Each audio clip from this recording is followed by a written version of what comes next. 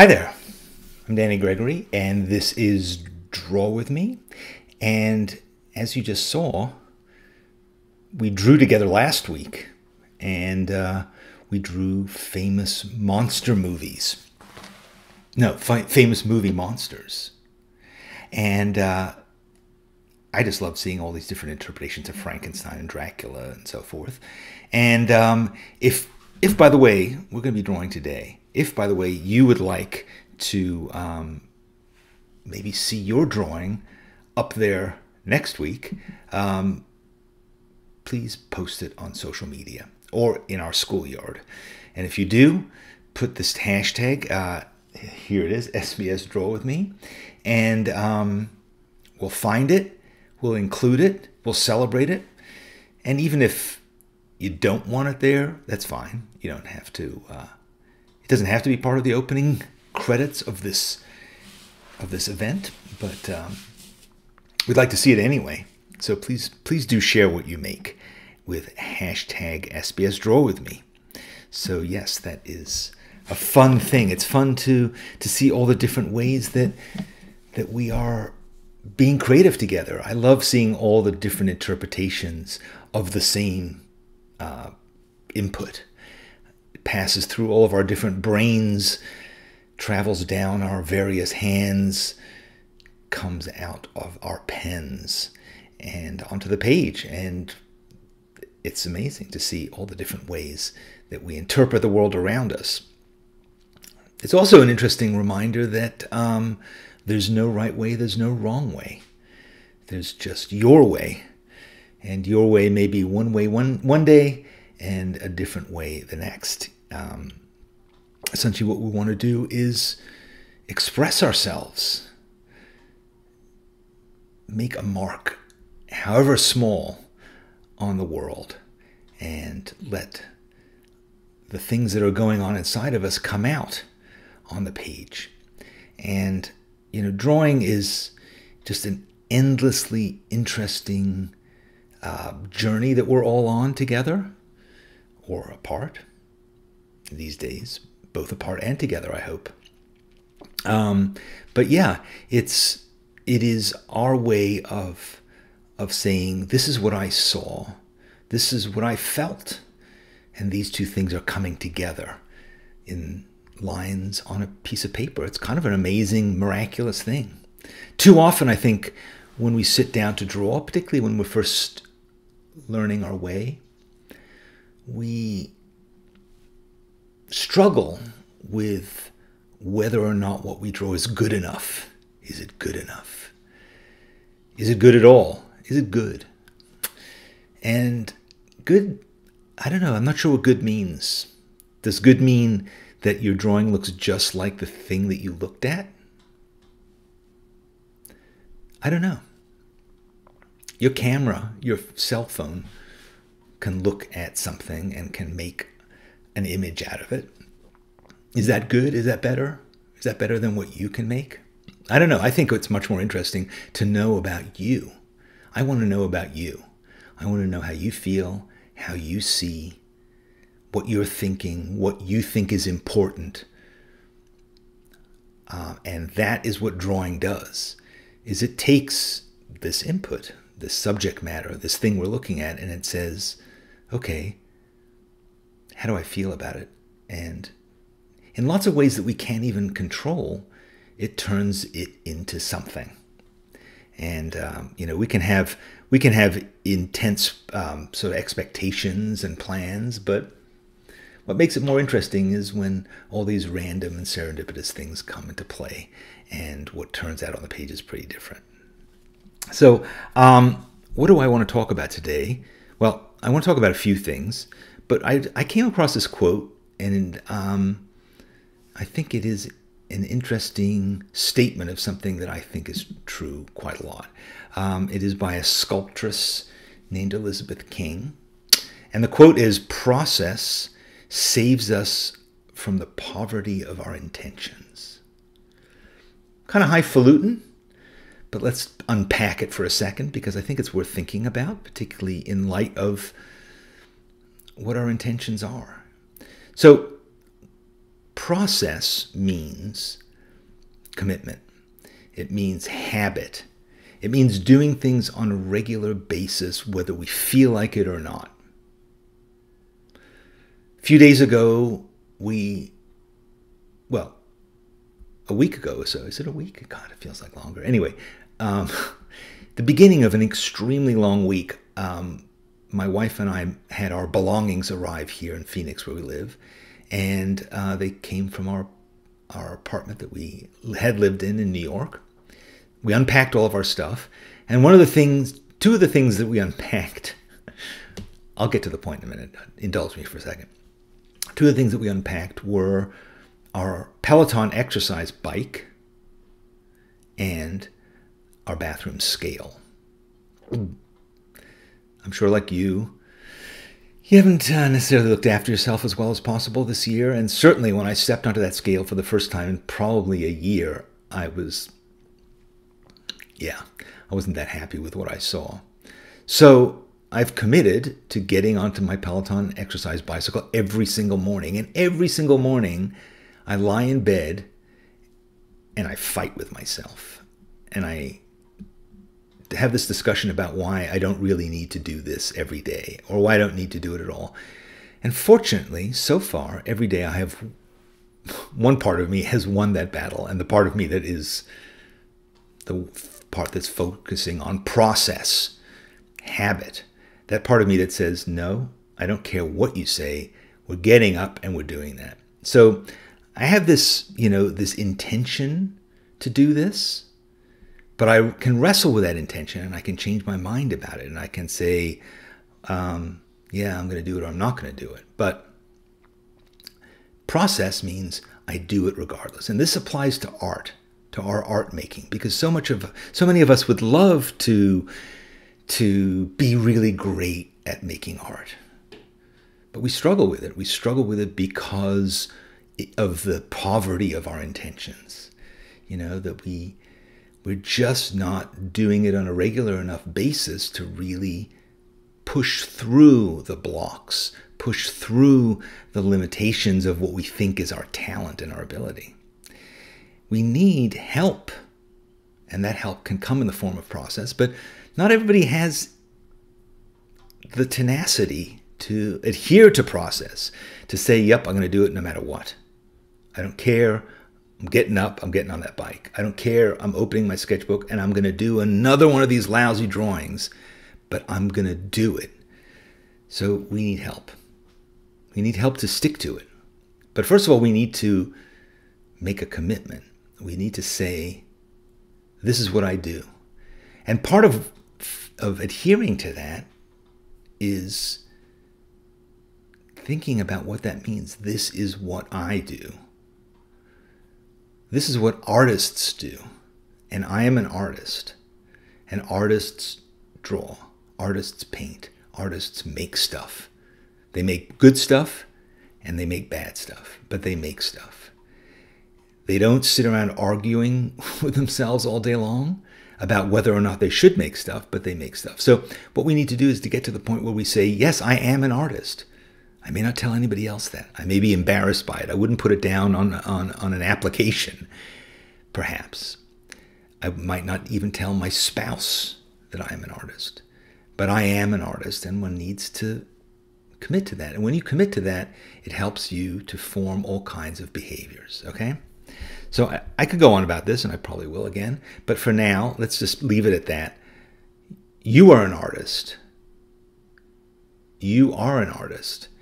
You need to think about what that means. You need to define that for yourself. You need to think about how to continually reconfirm that with yourself. But once you do have a glimmer of that as an identity, it doesn't have to be your entire identity. You could also say, I'm an artist, I'm a parent, I'm an accountant, I'm a whatever it is. You can be lots of things, but one of them is being an artist. And what artists do, they make stuff. So that's what you're going to do. And that means you have a process. And that process is what pushes you through, gets you over those humps and valleys. Okay, that's enough of that. What I want to talk about is related but different, and it's this It's this thing that you see me talk about. For the last few weeks, I've talked about whatever this mysterious thing is. And finally, I'm ready to actually give you details. Because I think this is a thing that, it, that will help you to develop process, will help you to get better at making art, will help you to have more fun at making art, will help you to accomplish those things inside of you that have been kicking around possibly your entire life. Those things that say, I feel the need to be this thing. But lots of things have gotten in the way of my being this thing. Responsibilities, inner voices, money, all these things that I've needed and haven't been able to get have, have stopped me from doing this. And part of what we're going to do with this is we're going to break through that and give you this freedom to do this, to make this part of your life, to put you on a journey with other people, just like we are today. Today we're on a journey, right? We're on a journey with lots of others who are doing this too, who are drawing with us. And that's what this is going to be about. Okay, so I'm not going to talk about it here, really, because this is not a, an infomercial where I'm going to tell you about stuff, but I do want you to know more. So, in order to do that, I want you to make sure that you receive my emails.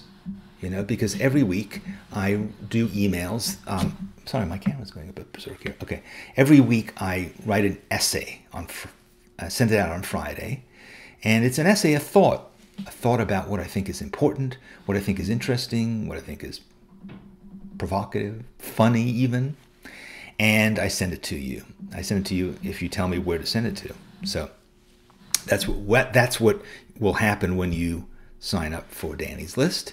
And um, tomorrow I'm going to send out the first kind of more in-depth description of you know um, what I've been talking about all along with this thing. Okay, so I just need you to get on my list, subscribe, and then it's free. It's free. It's not a it's not a get rich quick scheme. It's not a mark. It's not even actually usually about marketing in this one case, I'm just going to tell you a bit more about why it is that I'm doing this thing.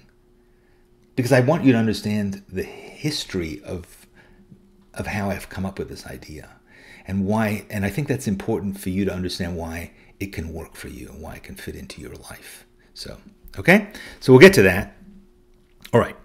Next, I just want to also remind you, by the way, that if you would like me to send you further inspiration, things that can help you to develop process, that can inspire you on a daily basis or semi-daily, no, semi-weekly, multiple, a few times a week.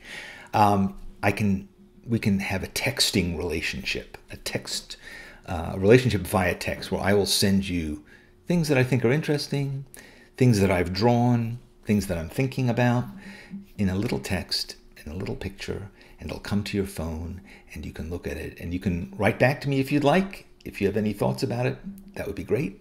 Um, and I'm, I get texts from people that are fantastic and so interesting and, and wonderful. And it's a sort of a weird little community that exists on my phone. So if you would like to join that community, just text me 919 298 8117. Uh, it only works right now in America, but who knows? It will change soon, I hope. Okay enough of all that. Let's start to draw, okay? Today, I'm in one of those moods. I don't know if you ever get this feeling of like, you just want to kind of get detaily. You know, you want to sort of, sometimes I want to be bold and I want to use big brushes and markers and colors. But today I'm feeling kind of like mm, niggly, a little niggly, a little like I want to focus on something kind of complicated and draw it, a complex thing, okay? So let's give it a whirl. Here's what I'm thinking. Here is what I want to draw today. It's little, um, and it is a skeleton. It is a bird skeleton. It's a pigeon skeleton, actually. And if you'd like to download this reference, you can. In fact, um, I've printed mine out. There it is. So I'm going to draw because it's a little bit bigger than drawing on the computer screen.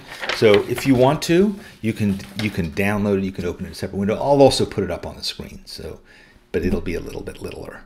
So but it's a pigeon. So, um, yuck, Monica says. This is not yuck. This is not yuck. This is a, this is an important aspect of art, and let me tell you a bit about it. So, the history of art is full of people, artists, great artists, drawing bones, skulls, skeletons. They're important parts of.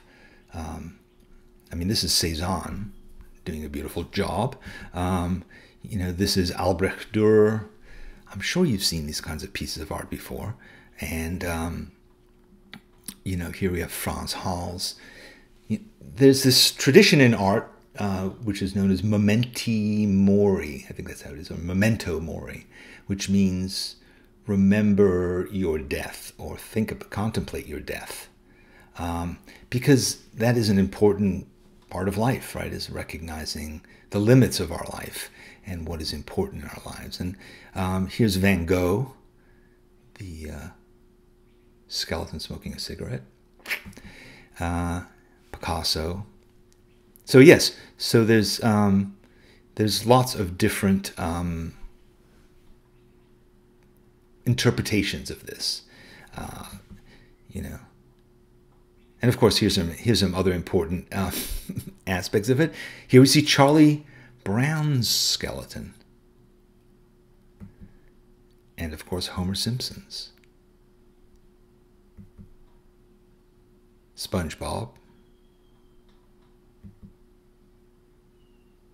I love this Lego man, a Lego sort of anatomy exercise. Um, here we have Felix the cat and Goofy. Mickey Mouse.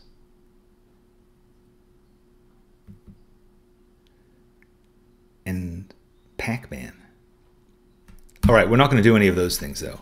Instead, we are going to draw this pigeon.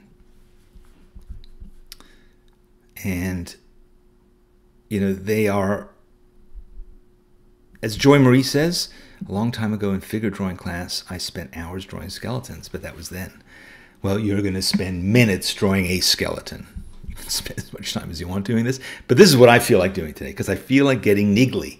You know, I'd like to, I feel like using, um, you know, like maybe a 0.3, maybe even we'll get smaller, maybe we'll get into uh, a 0.1, okay? So these are uni pins, um, and you know, yeah. So those are the pens of pens for today. Here's the paper for today, and let's get into it, man. Let's get into it. Let's start drawing. I think I'm going to start biggish. Maybe I'll go into small, small, smaller detail. Um, cup of official Sketchbook Skool coffee. One thing I want to do actually is I want to look at this. Oh, let's have a look at this overall picture, and just think about measuring. You know, just I just want to make sure I fit it on the page. So, what is the height? One. Let's just say, let's just measure his width. Right, his width is about that, and then we go okay to there to there. So it's it's roughly it's roughly um, one wide and just a little bit under two high.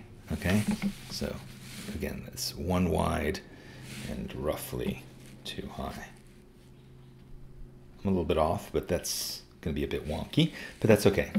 So that just this just tells me like, yeah, because this page is again, this wide by about that high. So it should fit, it should balance nicely on the page um, once we get it all figured out. Where did I put this? Okay. Let's let's see. Let's have a look at him up close. So I'm going to start with his bill, beak, bill or beak.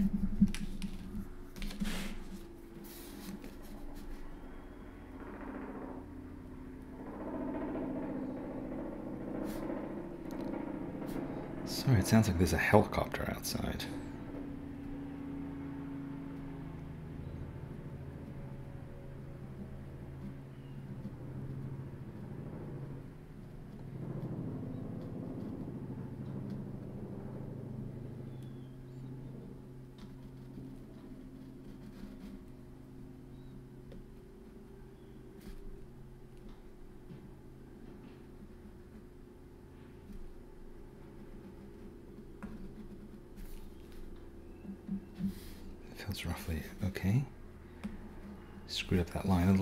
Little bit, alright.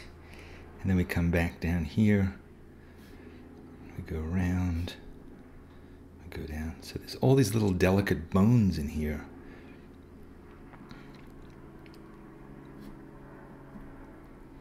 Pigeons. I had a lot of pigeons when I lived in New York City. There were pigeons galore. Here in Phoenix, it's more about doves, which are nicer. Pigeons are, at least in New York, pigeons are not are not the nicest of things. Sort of flying rats, they call them, which I think is a bit unkind. But um,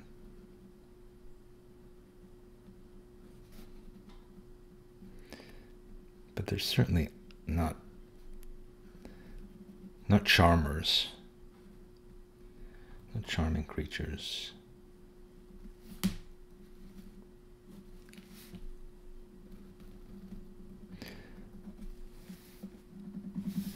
I think I made his beak a little bit too thick, like duck like almost.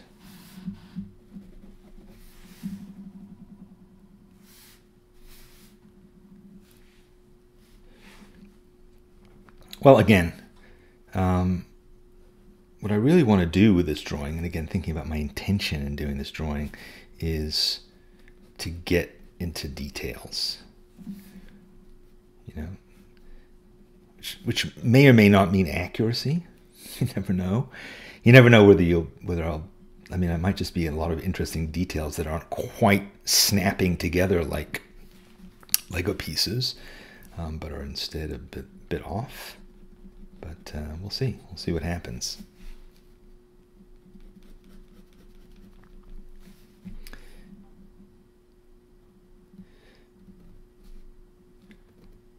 Please. Okay, good. It's a little vertebra. And it's really, it is to me lots of fun to draw very complicated things sometimes. Because what happens when you draw something super complex is you quickly run into things that you don't really know the names of, you know, and you and you. Um, so rather than saying like, oh, I know how to draw a carburetor, you just go, okay, there's like a rectangle and it has a line coming out of it, and then there's another thing, and all that kind of stuff makes it helps you to get into this drawing zone where you're not, you know, judging and analyzing, but you're just observing, and that tends to make for a more positive drawing experience. Um, and you know, in this case, I don't really know the names of any of these bones, or whether they're the right shape, or even if I'm leaving some of them out. It Doesn't really matter. I'm not concerned with that. I'm just enjoying this experience of of studying this set of shapes and thinking about how they all snap together.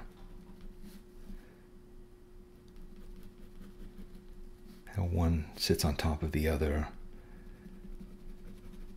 intersects another, that, that all those sorts of little bits that kind of make up the, the skeleton. Skeleton is this jigsaw puzzle of pieces.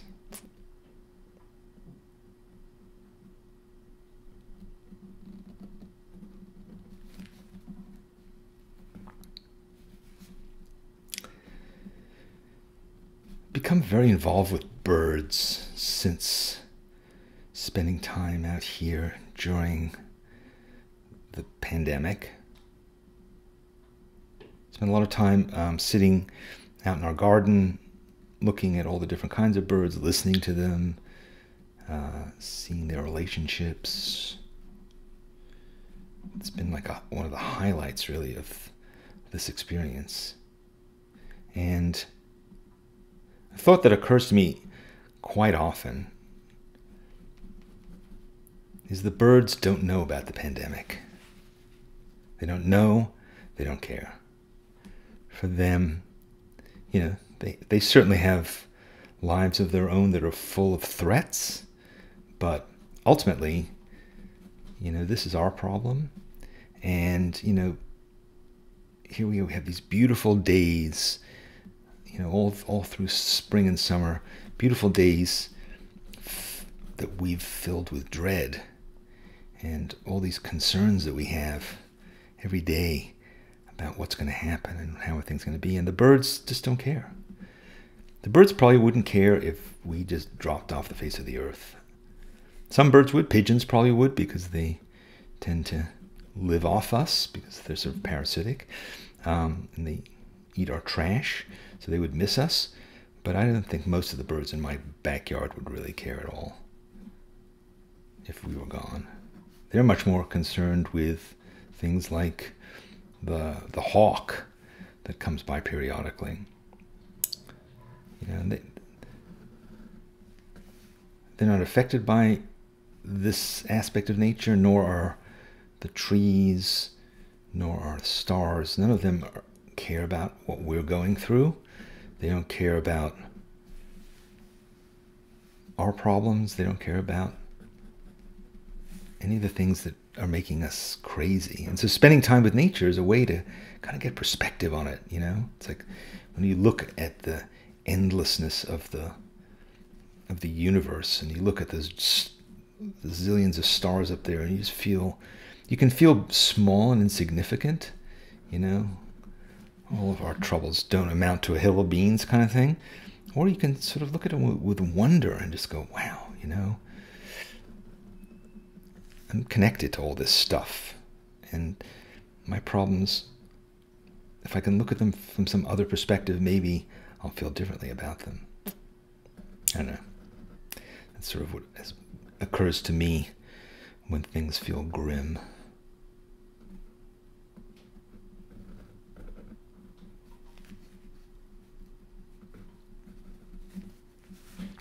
I've already screwed this up. I'm okay with that, I guess.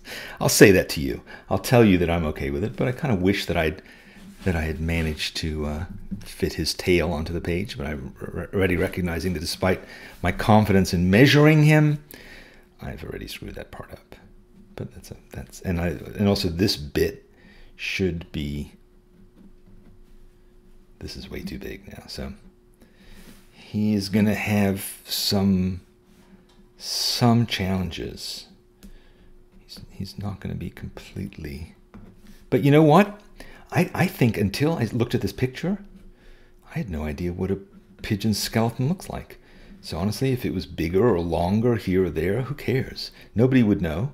And and I, you know, uh, before I looked at this, before I Googled pigeon skeleton, wouldn't have known either. And honestly, I could throw this photo reference away and never know again what mistakes I made. Instead, it'll look like kind of a cool detailed drawing, but more importantly, it's like I'm getting to enjoy this experience of looking at all these pieces one after the other and and how they fit together and all I mean every one of these pieces of neck bone is different and different shaped they all have some kind of amazing engineering and function that I can't even begin to understand. And that's that's cool. And if I if I ruin this experience, which I could do very easily, right? I could ruin it by saying, oh, "What am I doing wrong?"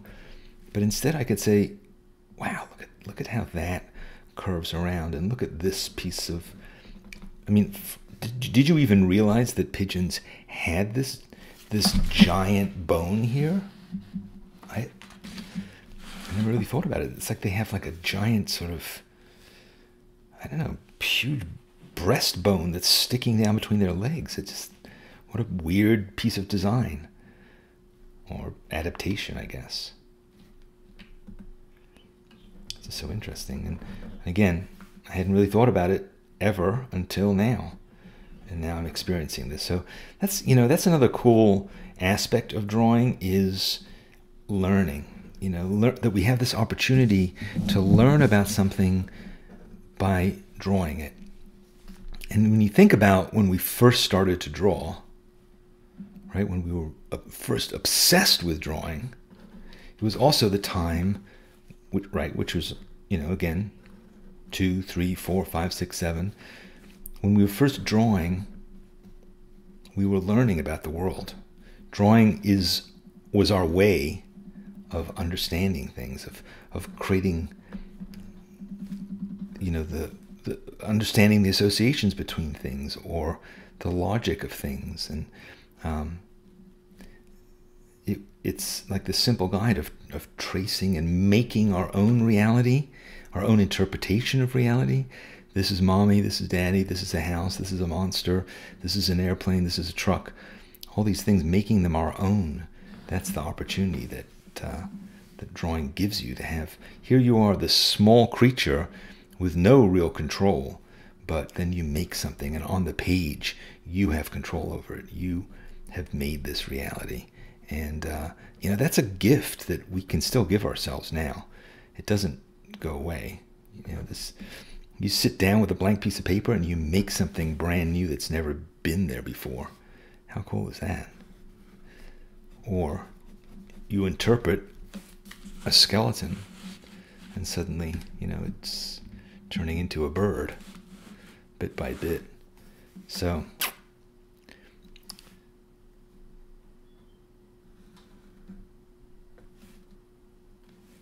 we may not have that many other opportunities to do this in our life, to have this sort of virtual experience. It's virtual in that we're, you know, creating something that didn't exist here on the page. Sometimes you draw something, when you draw a complex thing like this, and you go, oh, th those are the ribs. I see. His ribs are kind of very different from what I think of as ribs, but yeah, it's all kind of coming together. And um, then I'm I'm a little bit lost in here. Okay, this this is like his kind of knee joint is down here. And I have to cross the gutter because of whatever. What I probably should have done, or, or could have done, is to um, just make some little marks on the page at the very beginning to say to myself, okay, just remember, like, this is where you need to fit this bit of him. And this is where you need to fit, you know, his pelvis or whatever it is is going to go there, and his I should have, could have, might have done some more planning. But this is my nature. I am fairly impetuous in these things and uh, rush, rush. I'm a, I'm a Russian. I'm always a Russian through life.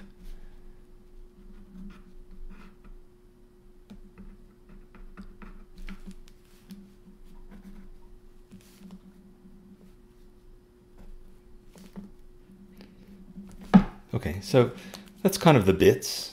I think I want to take this smaller pen now. Take the smaller pen, and um, so this is a, a zero one, and just get a little bit more into the hatching.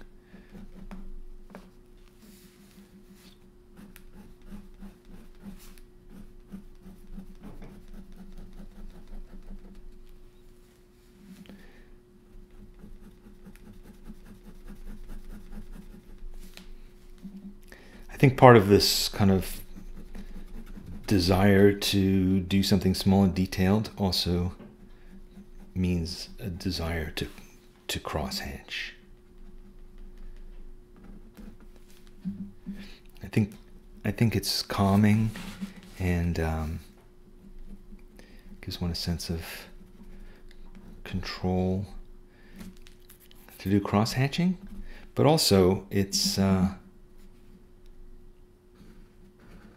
The nice thing about cross-hatching is it is cumulative. So, you know, you, any given line that you do may not be perfect, but the accumulation of lines starts to create the effect. So that can make you um,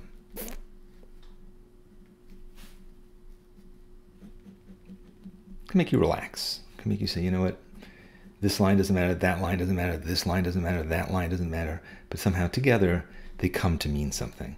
And so also because I'm not really thinking that much about every decision I'm making, I'm allowing my body to make these decisions.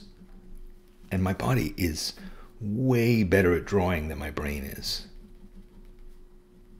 Our bodies are pretty amazing. I mean, if you think of your body as something that is programmable, right? If you think about when you were programmed, for instance, to talk or to walk, right? You figured these things out and then you just let it be. You never needed to rethink how to walk, you know, unless you had some stroke or some kind of injury. But generally, it's just become second nature. Your body learns this thing and then it just does it that way every time. So something like hatching, your body just knows, okay, just and you need to essentially rebuild your neural structure. You need to teach your nerves how to move a very small distance, draw a line, and then move another very small distance and draw a line. You're not born knowing how to do that. You learn how to do it. And but once you've learned how to do it, it's better to leave it alone. Don't think about it intensely because the more you think about it, the more you course correct. Again, if you think back to a skill like learning to walk, if you had to constantly think about how to walk while you're doing it, what is it? Oh, am I having connection problems?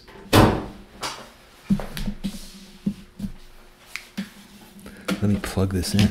Apparently I'm having connection problems. So I'm just plugging in, hold on a second, I'm plugging in a cable. Give me one second. How annoying. I hate technology sometimes, don't you? All right. I'm plugged in. Hopefully that'll make a difference. Um, where was I? Talking about developing neural pathways.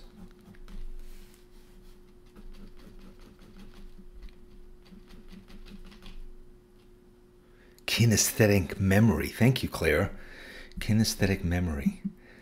That's apparently the term. Teaching our bodies how to do something, you know. Athletes certainly know how to do that. We don't think of that as, you know, because what happens so often is you say, I don't know how to draw. No talent, don't know how to do it. So therefore, we don't need to even try because we can say, well, I just can't get to that. I can't do it. Can't. But the reality is, if you think about it, is basically just a process, a process that you just need to work at a bit. And you say, okay, I'm going to work at this process and I'm going to do a few things. I'm going to develop these physical skills I'm going to gain some control over my body. And then I'm going to let it go. I'm going to gain some control over my mind so that I'm not constantly derailing um, this process with doubts and questions. I'm just going to establish trust with myself.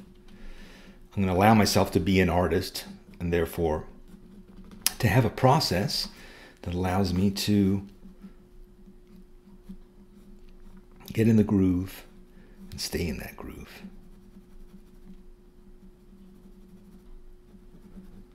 I'm going to accept my fallibility, which means that not everything I make is great or perfect, but sometimes I'll surprise myself. And that the goal is not perfection, but rather um, to engage in the process. Because when you engage in the process, which means you show up and you just do it, when you engage, engage in that process on a regular basis, you start to get pleasure out of the actual process. You know, it's like, again, if you go running every morning, you just start, that's just part of what you do, you know, and you are a runner and uh, just like you are a toothbrusher. Hi, I'm a toothbrusher, actually. Yeah, yeah, I've been doing it for years. I'm so good at it now, I don't even need to think. I just get out the brush, and the rest is on automatic. And the next thing you know, I'm staring out the window, brushing my teeth. Next thing you know, I'm done. I have amazingly clean teeth. And uh, honestly, I don't even know how I do it.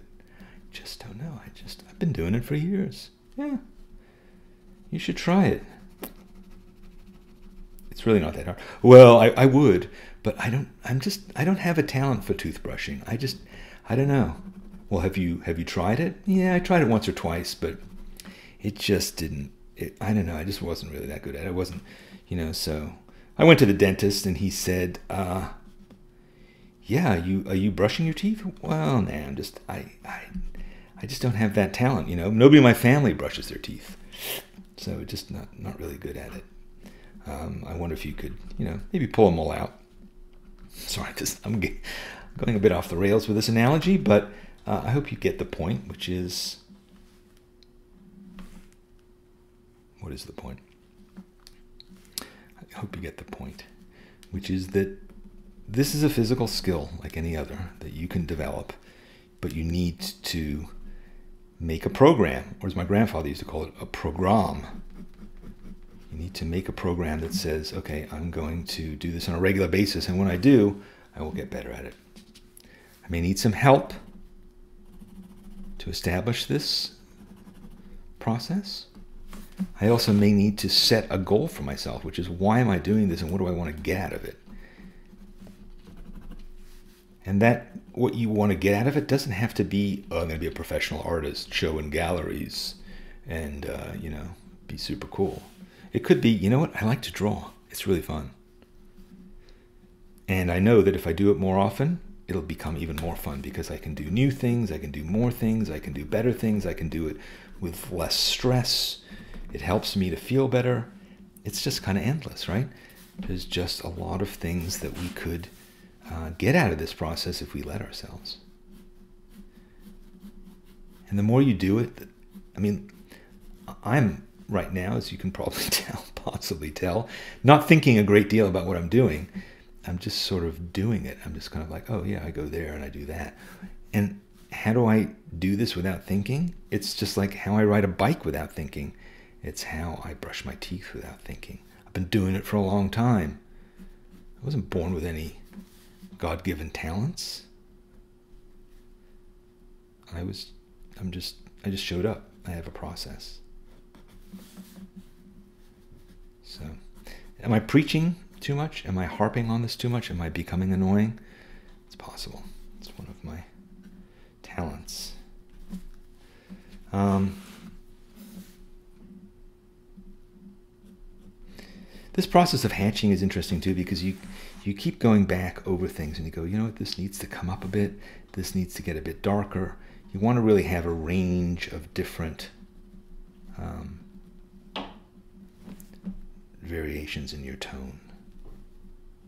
And that, that just takes time of just drawing lots and lots and lots of little tiny lines. I always thought, I thought it might be cool to have like a kind of like an odometer on your pen that says how many lines did you draw how much if you put all those lines together how far do they go? You know? You know how like we trying to you know there's that whole like do 10,000 steps a day. Like what if it was like you know draw 10,000 lines a day? What would that be like? What would your drawing be like if you did that? Maybe we need to start that as a as a movement. Have you done done your lines today? Uh uh no. I was too busy brushing my teeth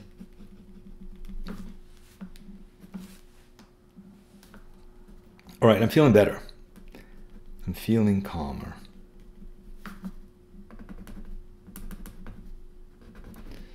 I have not been thinking about my death, though. Memento mori, remember I talked about that?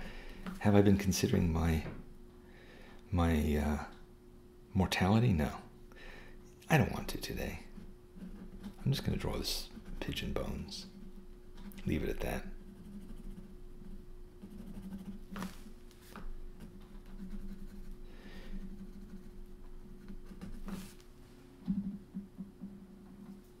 What do you think was happening with Van Gogh when he added that cigarette to the skeleton? You don't think of Van Gogh as being have having a particularly good sense of humor. Do you think he was? Do you think he added that? He's like, oh screw it, I'm going to put this stupid, I'm going to give this stupid skeleton a cigarette. Knowing Van Gogh, it might have actually maybe he did it somewhere where there actually was a cigarette in. I don't know. That's not true. That's not true or fair to him. But I always wondered, like, what was? That's like one of the few visual kind of joke things that you ever see out of him.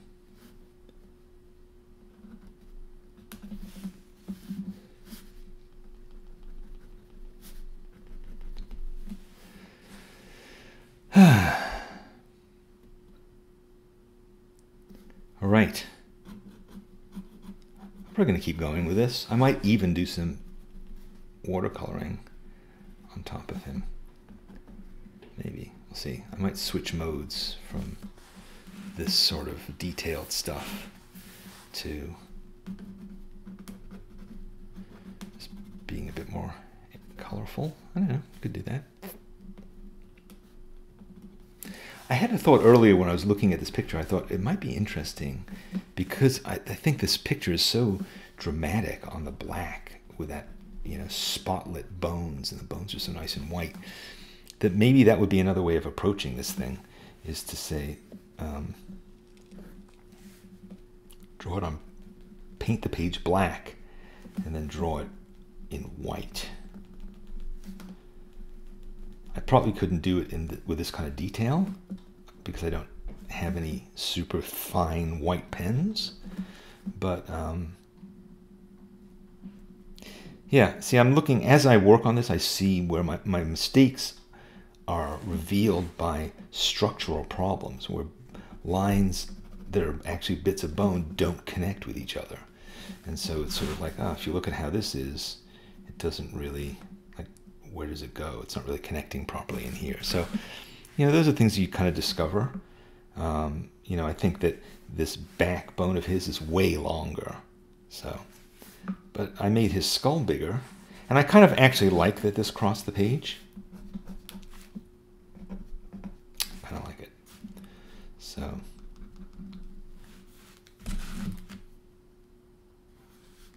I'm just going to leave this sort of plainer.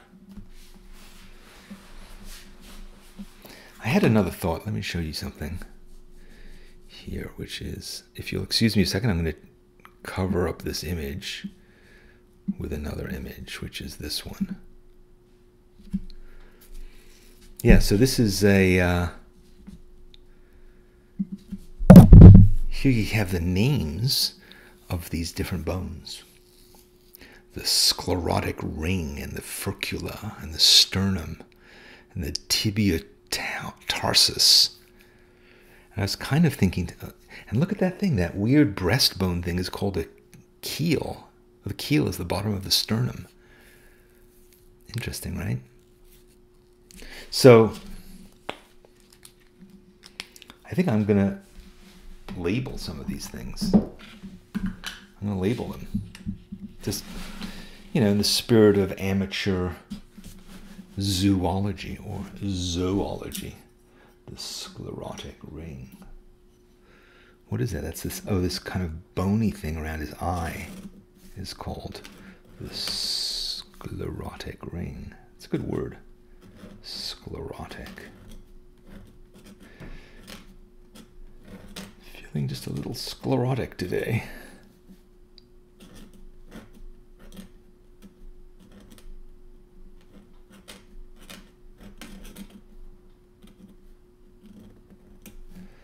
There we go, sclerotic ring. How about the furcula? Do I have a furcula? Yes. Yes! Furcula. I was afraid that this would betray the inaccuracy of my drawing. Wait a minute, you don't have, you don't have a furcula. Oh, yes, I do. It's right there. What about this? Sternum? Check. Sternum. Oh, yes, I got that right. And of course the keel.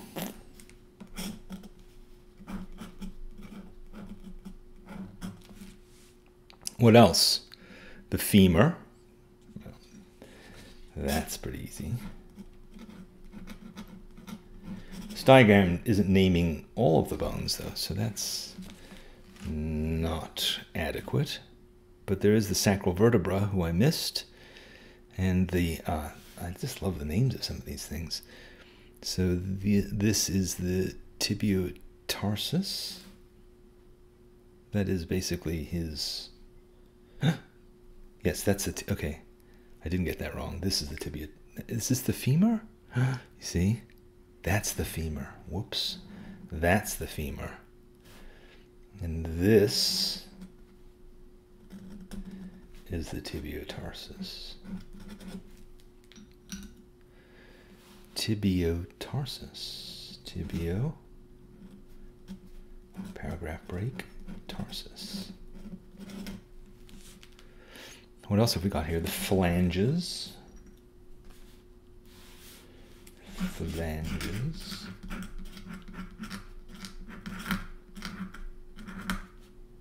I know some of you hate the sound. sound of nibs.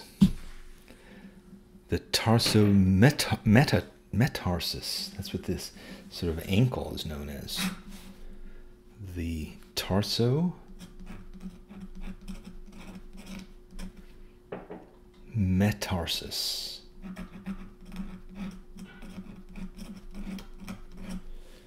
And what else do we have? The, yeah, I unfortunately did not include the sacral vertebra, which is off camera. So yeah, this doesn't kind of have the whole neck bone connected to the chin bone thing, but it'll do. I like the look of that. What do you think?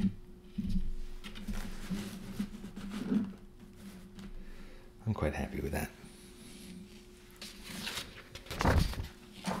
Oh no. Jen copied my homework and put the femur in the wrong place. Are you implying that I did it wrong? Because I don't do things wrong, as you know. All right. Okay, I think I've, I think I've succeeded in my mission. There it is. Now I just have to look up what is the word for pigeon in Latin. Maybe put it right there. Pigeons. All right, well, that was fun. Um, Kinney, weirdly alive. That's kind of creepy because it's a skeleton. All right. Um, boy, a lot of a lot of interesting comments here. Let's see. I sorry I haven't been paying attention to what you've been writing, but I will go back and look at it, um, and we'll see. Anne says that she sees birds in a whole new way. Birds, otherwise known as dinosaurs, of course. The more you study birds, I mean, look at those feet the more you study them, the more you say, there's no question, those are dinosaurs. They're flying dinosaurs. They are garbage eating dinosaurs. Those are dinosaurs. They're all around us, sitting on the phone wires. Dinosaurs. You know, cockadoodling, dinosaurs. In your sandwich, dinosaurs. Speaking of which, Thanksgiving coming up, we're going to eat a nice, big, fat dinosaur. Dinosaurs. Hollow boned rats. Now, dinosaurs. Dinosaurs. All right. Isn't this how Audubon learned? asks Claire. Well, yeah, I mean, you all know Audubon. He did this fantastic um, series of, of engravings of uh, all the birds of North America. Fantastic things. And uh, that's how he sort of um,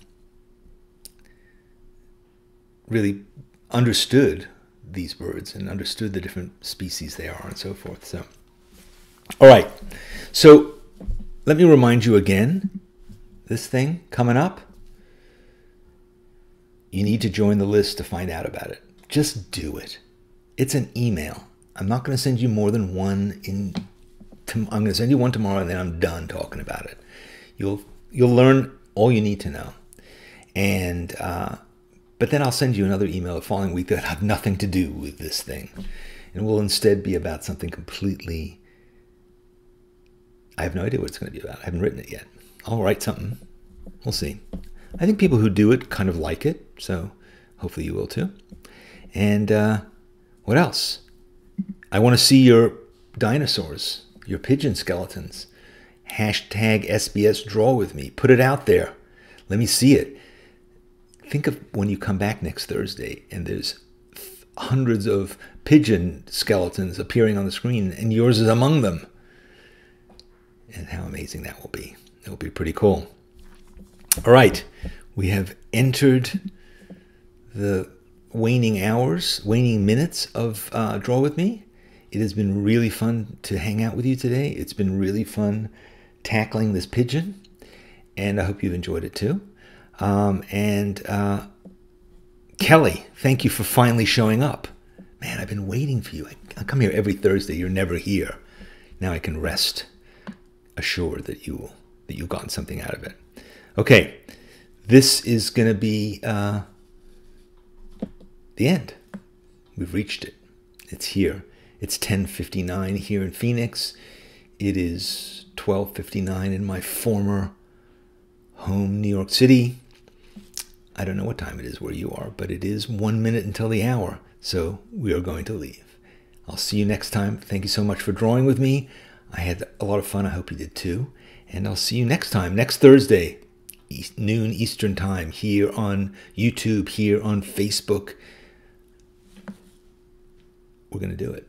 See you then.